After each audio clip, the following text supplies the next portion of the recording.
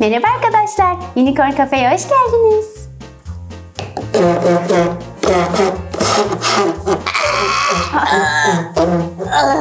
Merhaba Unicorn. Merhaba Olaf, hoş geldin. Bu nedir? Ben de sana onu sormaya geldim zaten. Bu nedir? Bir bakalım Olaf. İçinde bir kızak var. Hı hı. Bak senin maketin var. Evet bunu ben de gördüm. Şuna baksana hiç bana benziyor mu? Ben daha yakışıklıyım.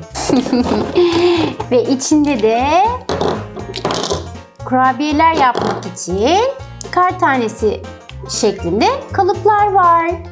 Evet bunları ben de gördüm. Ama nasıl kullanacağımı hiç anlamadım. Öyleyse hemen yapalım Olaf. Bunları iki elin arasına takıyoruz. Üçgen bir ok. Ve dikdörtgen. Ve arasına hamur, mavi ve beyaz rengi biraz karıştıralım.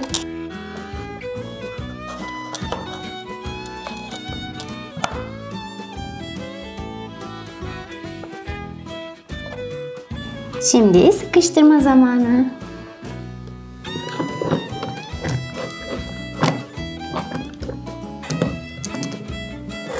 Kafasından bastırıyorum.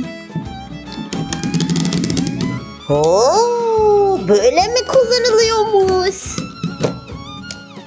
Gördüğün gibi kar tanesi şeklindeki kurabiye hazır. Ho ho ho ho, bayağı lezzetli görünüyor. Kar taneleri parlar. Üzerine biraz sim dökelim.